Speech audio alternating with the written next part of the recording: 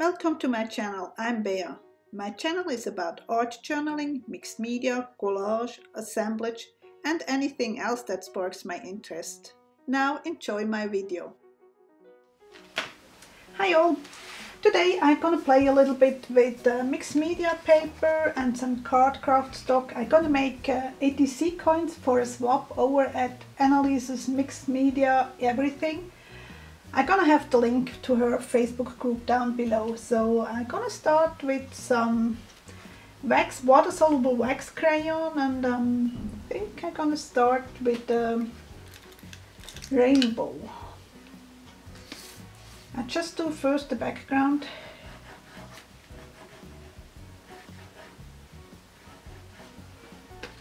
And then I go on for the actual theme, which is one theme is um, springtime and the other theme is um, travel which is very appropriate for me as I'm gonna be soon traveling to the Seattle area and having some fun there. Those are the Amsterdam from Royal Talens, the wax, the oil pastels and um, uh, you can use any other um, water-soluble crayons, you're not bound to those.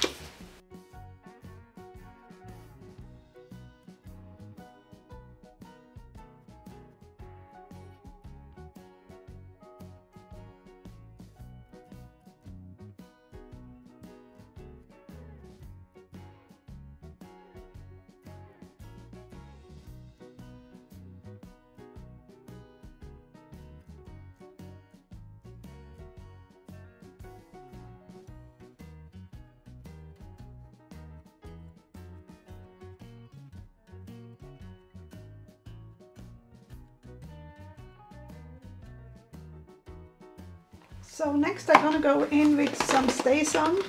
I just always like to have a little bit of a script going on in the background.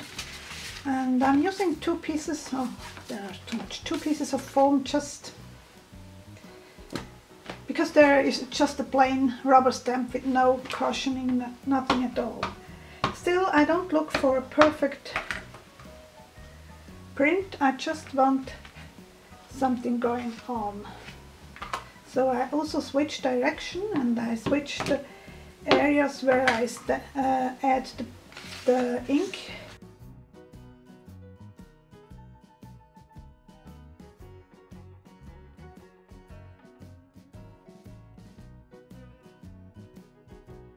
And I don't mind if it is overlapping, in fact I like it.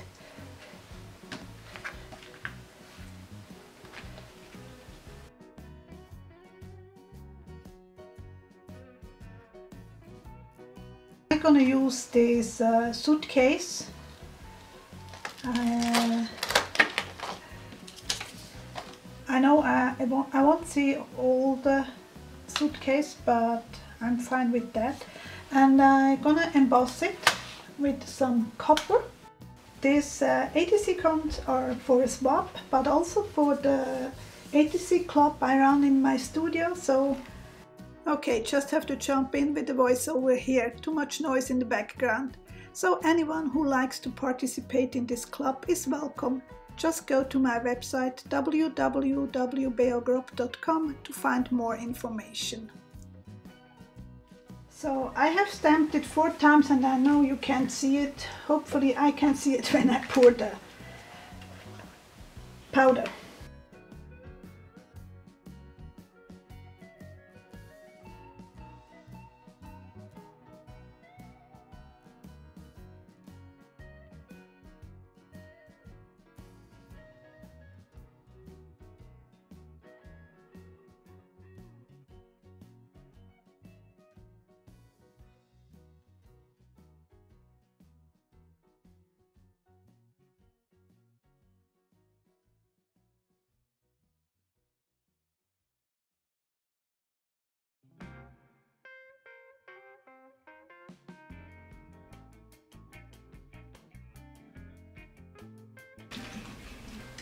Now for the spring theme I'm gonna use this uh, stamp die set. I have, sorry, no idea where, what kind of brand it is. I just did like it and did buy it. And I did um, repackaging all my stamp and die sets to gain a little bit of space, basically.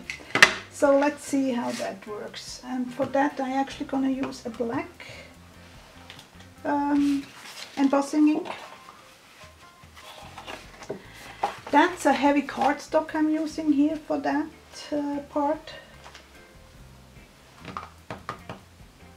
Here it is. so I'm gonna, hmm, black. I think I'm gonna go for the dark purple instead of the black.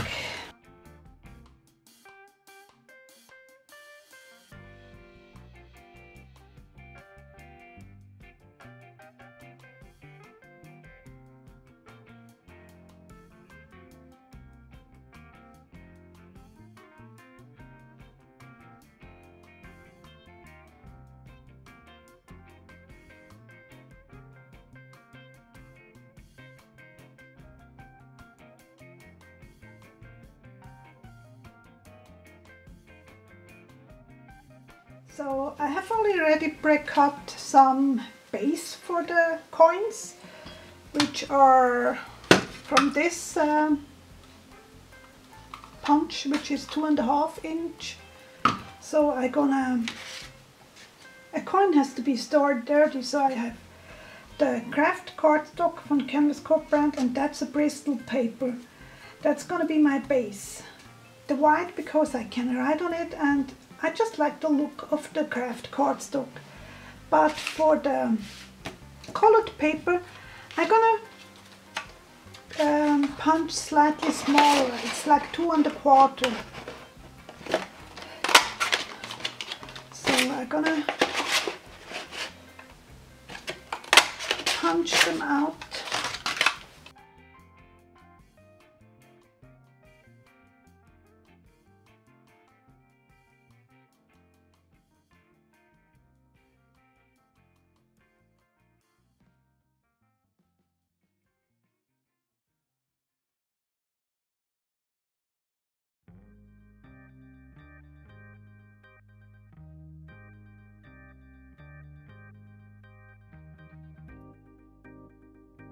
Now I use a simple glue stick to glue them together but I want to make sure that I go right to the edge of the paper so here comes my handy dandy glue book.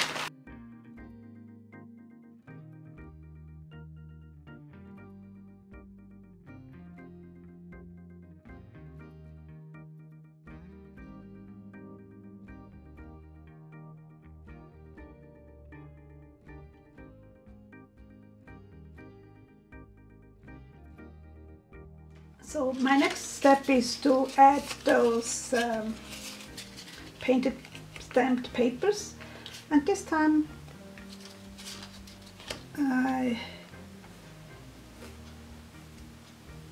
again I'm taking a little bit more time now because I have to center them.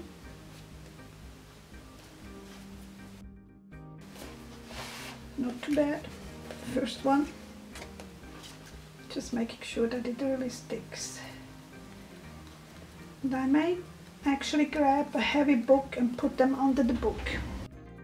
So I'm gonna put them under this book out of the of your view just to make sure that they stay where they have to stay.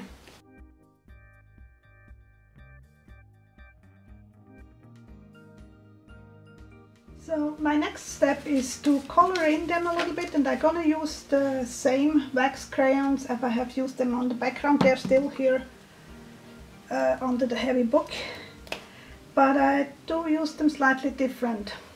I simply scribble a little bit on my stamping pad. It's an acrylic block and some purple. It's here.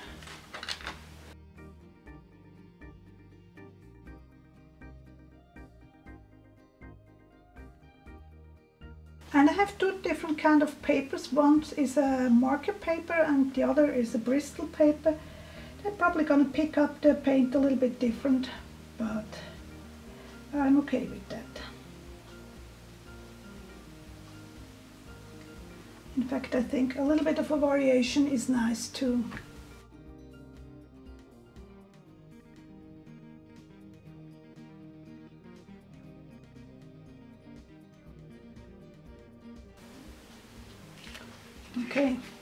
To the flowers. I'm certainly going to use some green.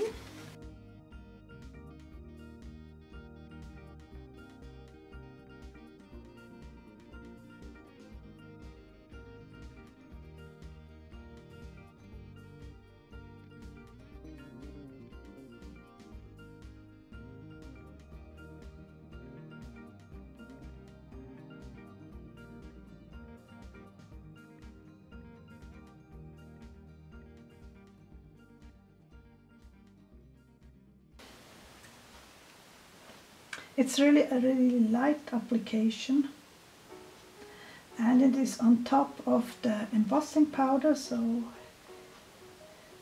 but still you get the idea of some green going on.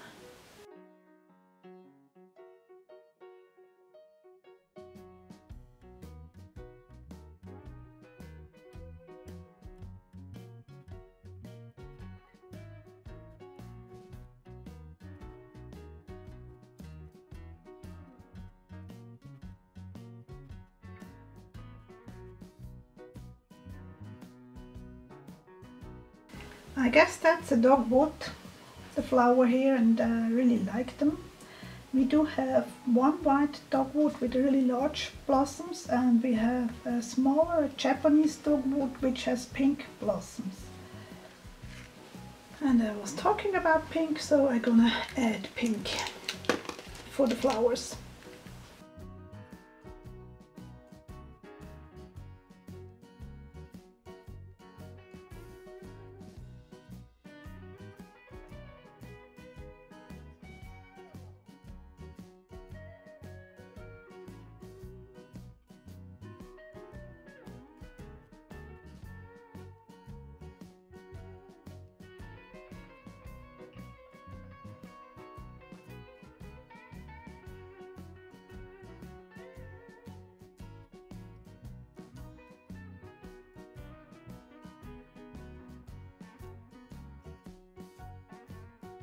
And um, what I also gonna do, I'm gonna go around the coins with some distress ink. I did have, oh here it is. And uh, I switch the colors uh, depending on what I have on this uh, painted paper. So let's see how that works.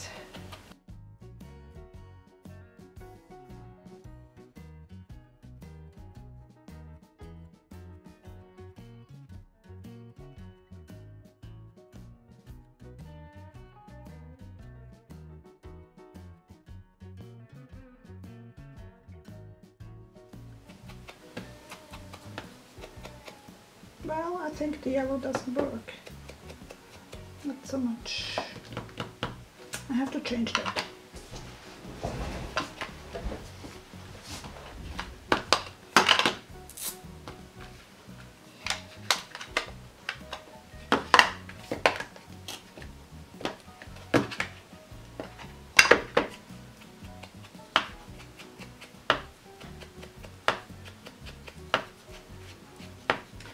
Mustard seed is the better, uh, the better solution.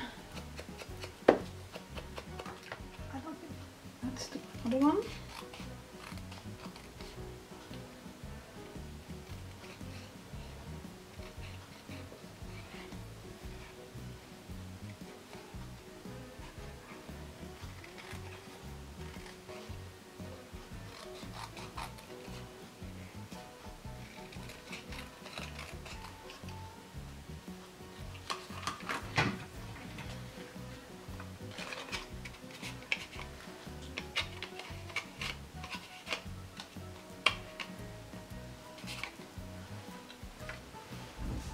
need my poke tool.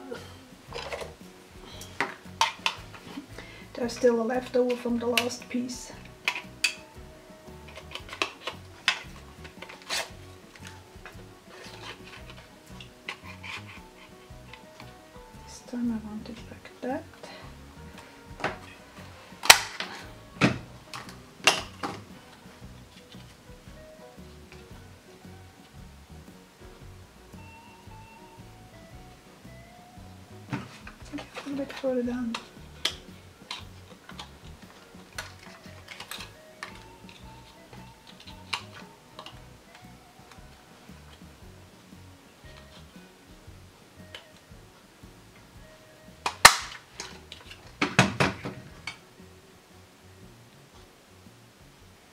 Mhm.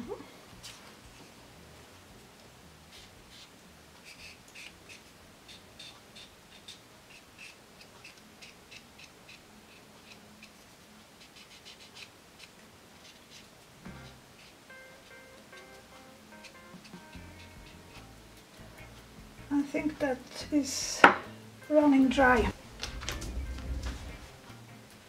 Yeah, that's better. Okay, up to the trash can.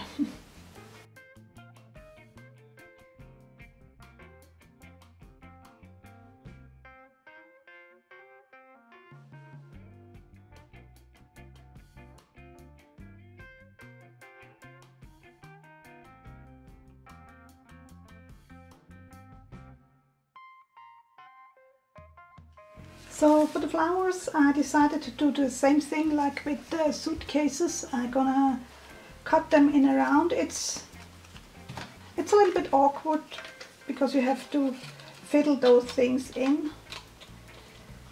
But I think it is worth it. This one actually went pretty well. So and I'm gonna use the black marker again just along the round edge.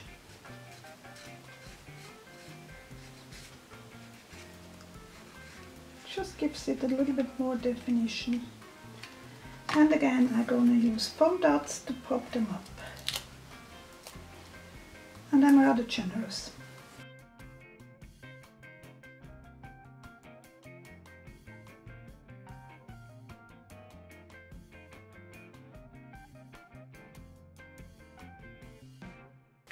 And then I turn around and figure out how I want it. I think something like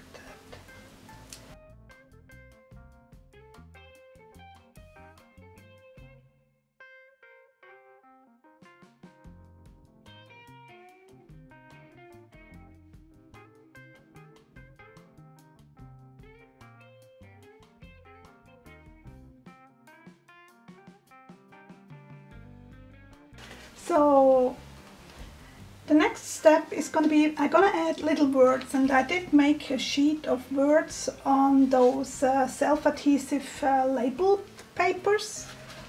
Uh, I'm going to have a file in the free member area www.beagrob.com where you can download it. I'm going to work a little bit more on it. I just figured out I should have done instead of pink maybe a blue background. So I'm gonna play around. It's, it's gonna be a full sheet of words with backgrounds and without backgrounds and in different fonts. So if you're interested go head over there. So what I also did I did etch all the coins with the black marker.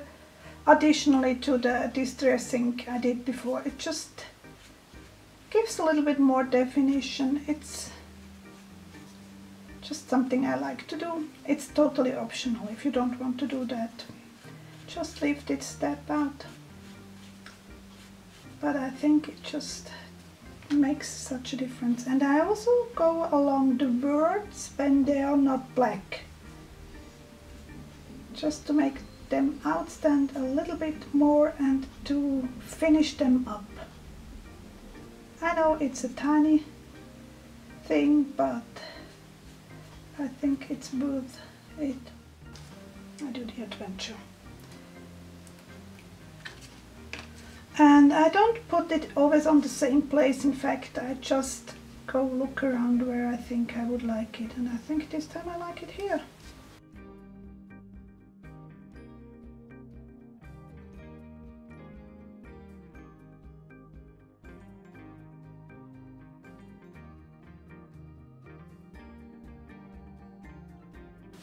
And I also add a little bling, just because I can.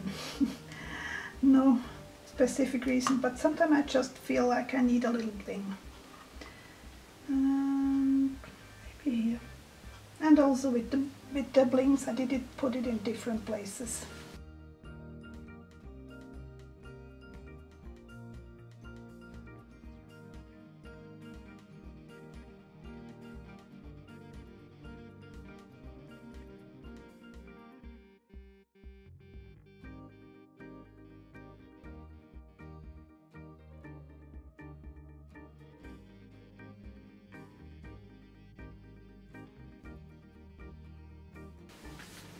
So here we are. Don't forget to put your name and your um, the title of your ATC on the back and the date. I hope you enjoyed the video. If so, please give me a thumbs up, subscribe and share on whatever social media you are on. Till soon!